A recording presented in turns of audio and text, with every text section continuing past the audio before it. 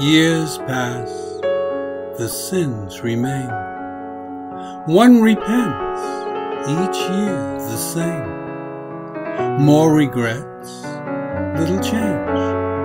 Knowledge waxes, knowledge wanes. In faith and love one finds a shore, presuming less, needing more.